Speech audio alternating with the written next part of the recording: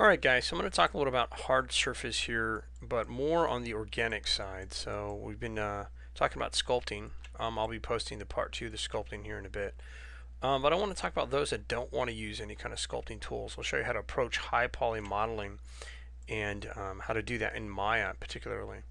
Uh, for one, let's say we want to work, make a rock. So I'll go ahead and uh, just make a simple cube. I like to start it simple so you can actually control its environment, exactly what you want to do with it we'll go and split this guy up a bit. So go in here and you'll see me navigate here. And uh, we can make the division uh, 2, 2, and 2. There we go. And with that, now we can actually shape this guy how we want. Now, you can go a little bit higher if you want to, but what we're going to do is do this little method. I can't say it methodically. we're going to go in here and think about what we want to do and how we want it to look. Now, it's good to use a reference. In this case, I'm just going to make it but having reference keeps you on point makes you, allows you to focus on a particular look and feel. So you see what I did just now, I went from the top down and I grabbed each point and I scaled them in. From here, I can go in here and change some of the uh, shape and maybe give it a little bit more of a drop-off control. And uh, so it kind of has a little more erosion to it. And it's looking a little bit more like a tree right now, but uh, like a stump like we did last time. But what I'm going to do is I'm going to use the same concept and we're gonna try to add a little bit more believability to this guy. I'm gonna scale that down. I'm gonna extrude him once, pull him out. Oh, let me make sure I watch what I'm selecting. My bad. I don't normally work with backface culling because uh, I forget to turn it off here.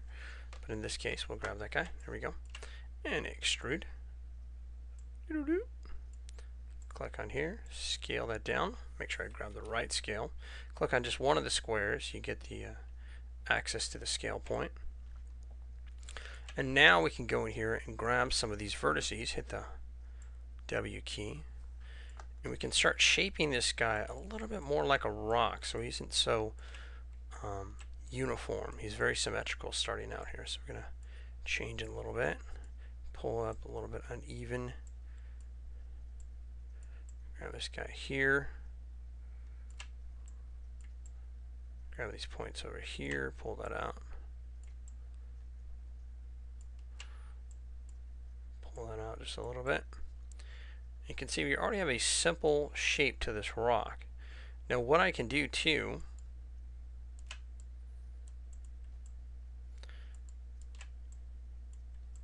if you want to see what he looks like smooth, just hit the 3 key. You can see we have a pretty definite rock. And what this 3 key does, it allows us to get a preview of what our shape's going to be if it, a smooth was run on it. But let me show you we can get some extra hyper detail. So I'm going to move him over. And uh, for one, we don't want him to look like he's been cut with a lightsaber on the top of him, so we'll lift that out. But let's actually get some really cool detail, like we're going to cut with a purpose. So to do that, we're going to use the uh, interactive uh, split tool. I don't mind this guy. Some people complain about him. I do like the other one a lot, but this one isn't too bad. You just have to know how to use it. Hit enter. It works pretty much the same. The old one used to have it so you at the bottom you could see the percentage of how much you were on that edge, which I thought was kind of nice. And uh, what I'm doing here is just adding some extra detail to get some believability. Now, anytime you want to push in a seam or an area on an object, you got to make sure you cut like I'm cutting right here. So you have an equal division. So if I did want to push this in, I can literally go in here and grab my edge, and now I can push this in if I wanted to, and I can have a nice little drop off in between. And you can change the silhouette a little bit, look like a rock's been cut into, almost like a sock monkey. So we'll go in here and we can add a few more edges. Insert edge loop.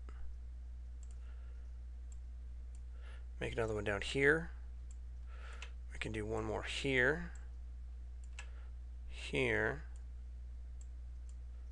over here. Alright. And one at the top, just to make things a little more interesting. So we got this shape here, and we got some divisions.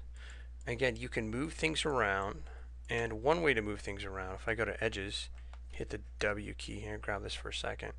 You can also slide on edge. This is uh, really nice. This allows me to middle mouse drag and slide this edge if I wanted to. I can even do the same thing for this guy if I want to slide that down. Make that crease a little bit smaller. I can do that. And uh, if I also wanted to, I can also go in here with the faces that I did select.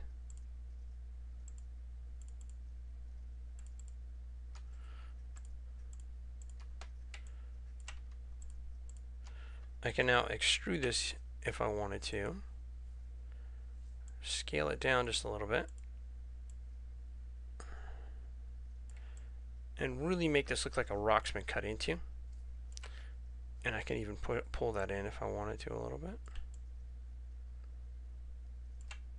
Now that looks like somebody cutting into that rock.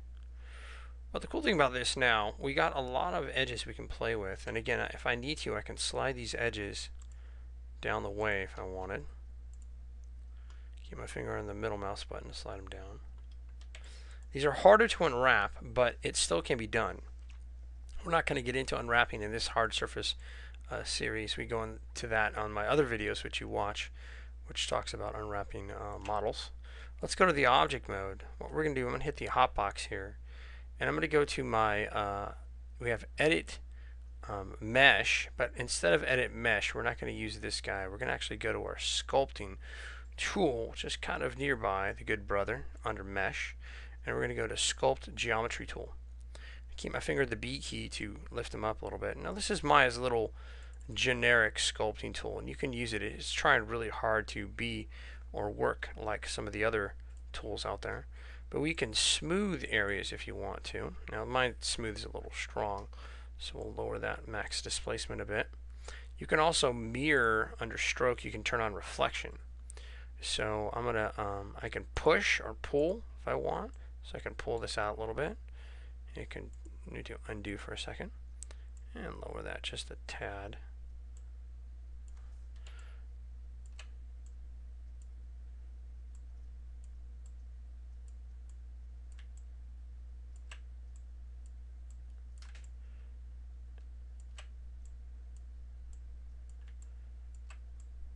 And what this does, this makes this thing look a little bit more believable as a rock, so it doesn't look so static and don't have those square lines that we have. And with those areas that we pulled out, we can go in here and smooth it out too.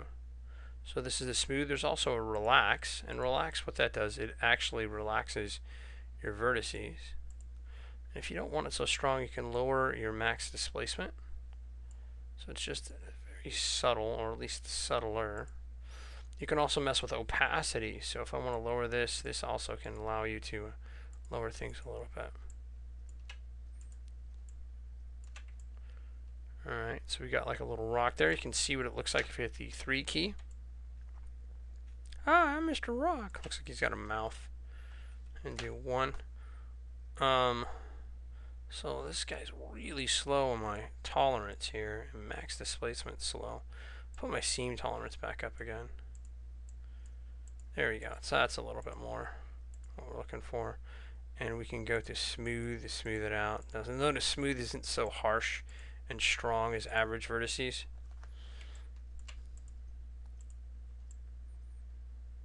And this allows us to maybe control the environment a little bit more.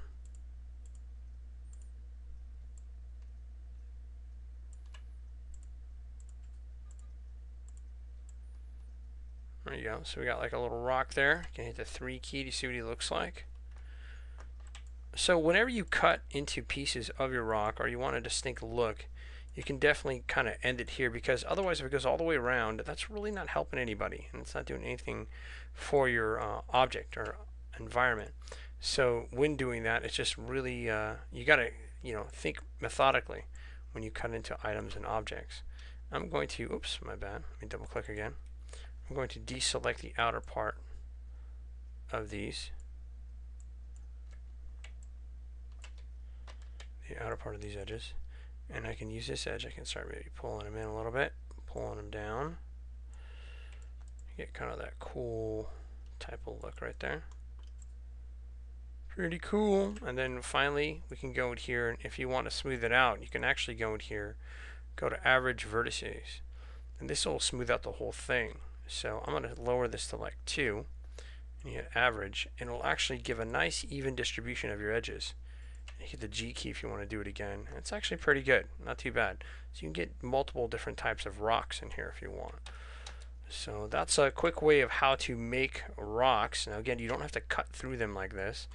There's a lot of things you can do, and we did use the deformer again on other projects. And this one, we'll just keep this deformer super simple. Actually, even more simple than that. We'll do... Uh, and uh, we use this for some of our modeling in the past, and you can again use the lattice. Definitely can use it for rocks and other items. Wireframe on shaded, you can actually see how he's reacting. I can give it a slant if I wanted to. Grab it in the middle and move it up a little bit. And you can have multiple rocks. And then from here you can start cutting with a purpose. And it's a quick tool. There's also soft selection if you want to use that. Um, I don't use it as much because I do like the ultimate control of uh, the lattice where I can do point by point and I can methodically grab certain areas on my object. And soft selection actually works pretty well. You can see me pull on there and has a nice little drop off. And you can control the drop off on this object if you go into your attributes. You actually can see how much strength your drop off is going to have. And this works a little bit like Photoshop's curve tool. It uses these variables between strength based on the little ramp curve here. And you can see if we lower it, we can lower the uh, strength here. We can raise it up. You'll see the hotspot increase. You can even move some of these over. So I can move it over and you'll see that the hotspot can be scattered more or have a nice even drop off. So it's actually pretty good. Its defaults aren't too bad. I actually like them. Not too shabby. But it's all up to you how you want to uh, distort this guy. And these S's will stick around, so just keep that in mind. And uh, you can increase your drop off or decrease it by moving your your uh, you have a little uh, secondary displacement here that allows you to control the influence away from the from the area that you um, selected. So we can actually move it one way or the other. And it's basically called your fall off center. So we're controlling it here and you'll see it active here over to our right. You'll see the numbers switch and change. Which is pretty cool. This allows you to, uh, you can go to any area if you want. It's really nice because you can actually slide it all the way over to the surface. You can get different type of changes. Alright, just wanted to show that to you guys, and that's about it for this one. And I'll go ahead and post it.